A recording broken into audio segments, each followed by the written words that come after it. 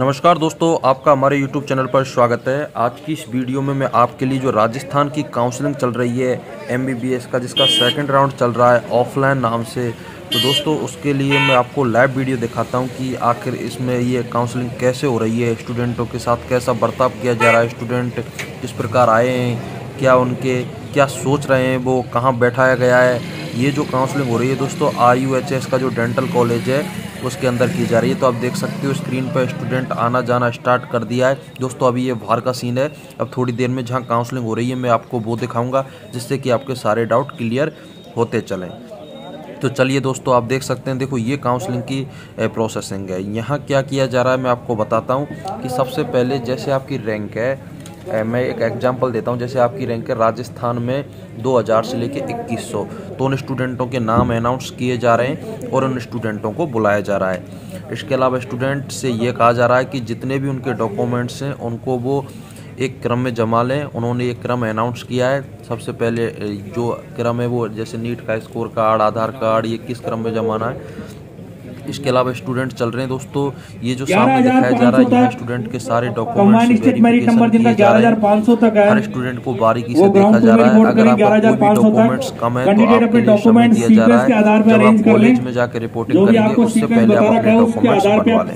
इसके अलावा स्टूडेंट आप पीछे देख पा रहे होंगे आपको स्क्रीन दिखाई दे रही है। उस स्क्रीन पे आपकी सीटें चल रही है अब ये वीडियो बनाई जा रही है। इससे पहले तक दोस्तों गवर्नमेंट सीट थी जो चाहे वो पुराने कॉलेज थे, जैसे जे एल एन अजमेर हो, बीकानेर हो एस एम एस हो आर यू एच एस हो, या फिर कोटा हो तो दोस्तों उनकी सारी सीटें भर चुकी हैं। इसके अलावा जो नए कॉलेज खुले हैं, जिनमें शीकर का है, भरतपुर, चूरू, पाली, डूंगरपुर, दोस्तों उन्हीं की भी सारी सीटें भर चुकी हैं। लास्ट, डूंगरपुर की अगर अपन कट ऑफ़ की बात करें, जो सबसे, उसको लोगों ने सबसे कम मान्यता दी गई है तो उसमें दोस्तों जनरल कैटेगरी के लिए 617 नंबर पर वो डूंगरपुर का लास्ट सीट गवर्नमेंट अलॉट हुई है। हालाँकि कुछ स्टूडेंटों को 616 पर भी मिला, लेकिन 617 पर ही माना जाएगा।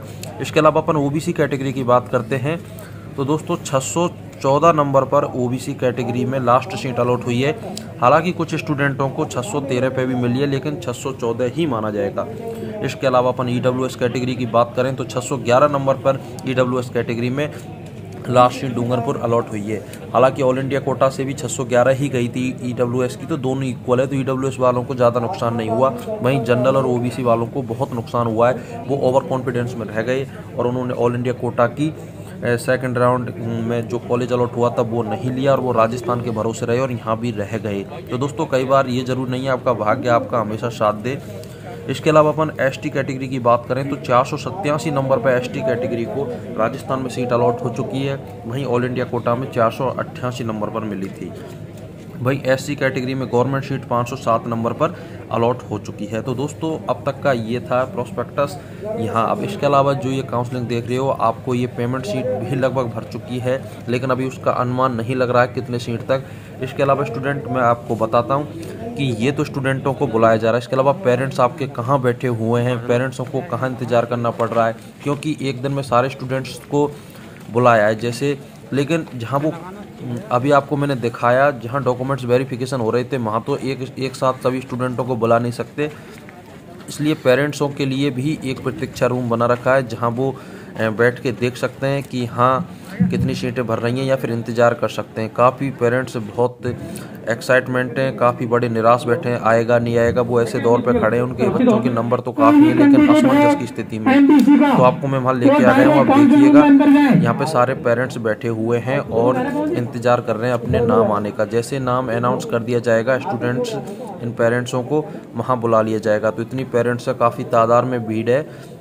तो आप देख सकते हैं सोशल डिस्टेंसिंग का भी पालन किया जा रहा है, कुर्सियाँ काफ़ी दूर दूर हैं और पेरेंट्स आपस में चर्चा कर रहे हैं कि क्या कॉलेज मिलना चाहिए, नहीं मिलना चाहिए, ये आपको स्क्रीन मैंने जूम करके दिखा दी, इस स्क्रीन पे ये दिखा रहा है कितनी सीटें किस कॉलेज में भर चुकी हैं, इसके अलावा कितनी सीटें अभी बाकी हैं। दोस्तों, जैसे ये राउंड अब ख़त्म होने वाला है, इसके अलावा अभी आपका डेंटल का स्टार्ट हो जाएगा, फिर जितने भी राजस्थान के प्राइवेट कॉलेज हैं, जिनकी काफ़ी महँगी फ़ीस है उनका भी अभी काउंसलिंग के थ्रू ही उसमें एडमिशन होगा। अगर आप उसका हिस्सा बनना चाहते हैं दोस्तों तो आप अगले दिन आइएगा। अभी गवर्नमेंट सीट और पेमेंट सीटें राजस्थान की बिल्कुल फुल हो, हो चुकी हैं। आपको वहाँ एडमिशन मिलने के कोई चांसेज नहीं हैं। इसके अलावा दोस्तों अब आप सिर्फ़ प्राइवेट कॉलेज में एडमिशन ले सकते हैं या फिर डेंटल कॉलेज में एडमिशन ले सकते हैं। डेंटल का गवर्नमेंट और प्राइवेट दोनों ही अभी खाली हैं। इसके अलावा मैं स्टूडेंट्स आपको थोड़ा सा एक बात शेयर करना चाहूँगा। जिन स्टूडेंट्स को अगर एमबीबीएस करना ही है और दोस्तों वो अपना समय बर्बाद नहीं करना चाह रहे तो मैं खुद कजाकिस्तान से एमबीबीएस कर रहा हूँ और सेकेंड ईयर का स्टूडेंट हूँ। जिस मोड पर या जिस परिस्थिति पर आप खड़े हुए मैं भी लास्ट ईयर उसी परिस्थिति पे था। दोस्तों काउंसलिंग में आया। अचानक मेरी मुलाकात डॉक्टर शिवशंकर जी से हुई और उनके थ्रू मैं एम करने के लिए कजाकिस्तान चला गया। मिनिमम बजट में लगभग बाईस तेईस लाख रुपए में मेरी एम कंप्लीट हो जाएगी। और देखो पहले लोग इसलिए बाहर नहीं जाते थे कि उनको एमसीआई जो अब नेक्स्ट के नाम से हो गया उसका एग्ज़ाम देना पड़ता था। हालाँकि वो एग्ज़ाम अभी भी देना पड़ेगा, लेकिन मैं आपको बता दूँ कि अब वो इंडिया से करो या राजस्थान से करो या एसएमएस से करो या एमसी से करो, जो आपका मनपसंद कॉलेज है, उससे आप एमबीबीएस करो। सभी स्टूडेंटों को 2022 के बाद जो पास आउट होंगे नेक्स्ट का एग्ज़ाम देना है। तो दोस्तों, अगर आपका डॉक्टर बनने का सपना है, अगर आपने सोच ही लिया है तो ये स्क्रीन पे या फिर डिस्क्रिप्शन में मेरा नंबर है। मैं आपकी डॉक्टर शिवशंकर जी से बात कराऊँगा, जो खुद कजाकिस्तान से पास आउट हैं और एमबीबीएस करके वहाँ से आए हुए हैं और एस में पोस्टेड हैं और पिछले दस या ग्यारह साल से स्टूडेंटों को बाहर भेज रहे हैं। उनके द्वारा फाइव प्लस स्टूडेंट राजस्थान में पोस्टेड है गवर्नमेंट तो आप इस पर भी एक बार विचार कर सकते हैं, अगर आपको सीट नहीं मिल रही है। प्राइवेट कॉलेज में अगर आप फालतू का इतना पैसा खर्च करोगे तो उससे कोई फ़ायदा है नहीं। मैं चाहता हूँ कि वो पैसा आप पीजी में सीट उठाएँ पाँच साल बाद। और देखो एमबीबीएस कहीं से भी करो, अगर नेक्स्ट का एग्ज़ाम आपने पास कर लिया तो आप इंडिया से करने वाले डॉक्टरों के बिल्कुल इक्वल हैं। मैं ये बात आपसे तब शेयर नहीं करता अगर मैं नहीं गया होता। दोस्तों, मैं लास्ट ईयर जा चुका हूँ, बहुत अच्छा माहौल है। बस ये कि स्टूडेंट या फिर पेरेंट्स की अभी थिंकिंग उस लेवल की नहीं बनी है या फिर माइंड में वो सवाल नहीं आते कि क्या किया जाए, कैसा होगा ये वो। अगर एक बार आप माँ आ जाओगे या देख लोगे माहौल तो बहुत बढ़िया सिस्टम है।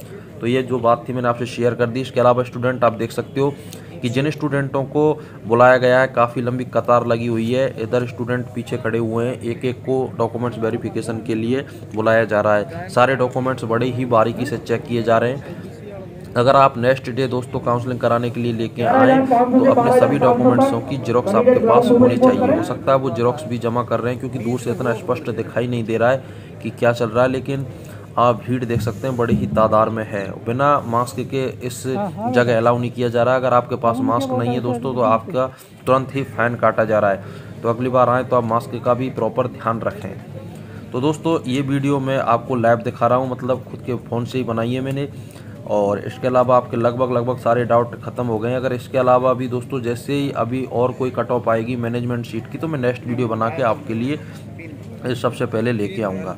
अगर आपका काउंसलिंग से रिलेटेड या फिर आउट ऑफ़ इंडिया एमबीबीएस करने से रिलेटेड कोई भी डाउट हो तो आप इस नंबर पर दोस्तों व्हाट्सएप मैसेज कर सकते हैं। और मैंने आपको लगभग लगभग काउंसलिंग का जो जो स्टूडेंट या नेक्स्ट ईयर आना चाहते हैं या फिर अभी इलेवन ट्वेल्थ में तो उनके लिए बता दिया कि किस प्रकार काउंसलिंग की प्रक्रिया पूर्ण होती है। तो कुछ स्टूडेंट काउंसलिंग के नाम से बड़े घबराए रहते हैं कि क्या होता होगा। तो आप पूरा देख चुके हैं। काउंसलिंग इतना टफ नहीं है, बस डिपेंड करेगा आपके नंबर कितने अच्छे अगर आपके नंबर अच्छे हैं तो दोस्तों काउंसलिंग और इनकी वजह से एडमिशन नहीं रुकेगा। मिलता हूँ नेक्स्ट वीडियो में नेक्स्ट अपडेट के साथ। आज के लिए इतना ही। जय हिंद, जय भारत।